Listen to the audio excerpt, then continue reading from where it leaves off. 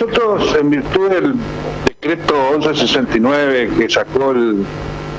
el Poder Ejecutivo Provincial y que pidió la adhesión de los demás poderes eh, y pidió la menor presencialidad posible. Y como nosotros tenemos en vigencia y en práctica el expediente digital electrónico, el expediente procesal judicial electrónico,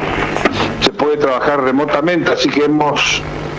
designado cuatro juzgados de cada circunscripción judicial, uno para lo civil y comercial y demás anexos, uno para lo laboral, otro para familia y el otro penal. Y por lo tanto, todas eh, todos esos fueros están trabajando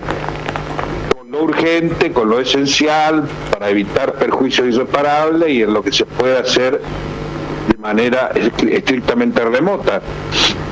Nosotros trabajamos Sí, en junio del año pasado, que fue el rebrote de la pandemia de manera fuerte, y lo hicimos con mucho menor eh, eh, importancia institucional, porque habíamos puesto un solo juzgado en cada jurisdicción, así que ahora pusimos cuatro, así que creo que está bien, estamos funcionando dentro de lo que podemos decir en pandemia lo mejor posible. Acá yo quiero resaltar una cosa, porque recibido pedidos de abogados y pedidos de gente que hablan de que bueno, de que si bien estamos en pandemia, al final la gente lo mismo circula y lo mismo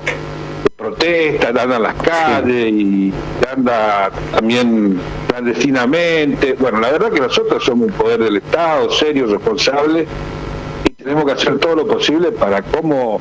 funcionarios públicos tratar de preservar la salud solo de la población en general, sino también de nuestra planta permanente. Nosotros hemos tenido en las últimas semanas eh, muchos casos de contagio y de cierre de tribunales. Y por lo tanto, con esta cantidad de contagiados que tenemos en la provincia, que no bajan de los 500, estamos en 600, 500 por día, los fallecidos también están eh, aumentándose en la provincia y en la nación creo que lo más prudente en este caso eh, hacer respetar las normas de no circulación y de no aglomeración por tres días hábiles, son miércoles hoy, jueves mañana y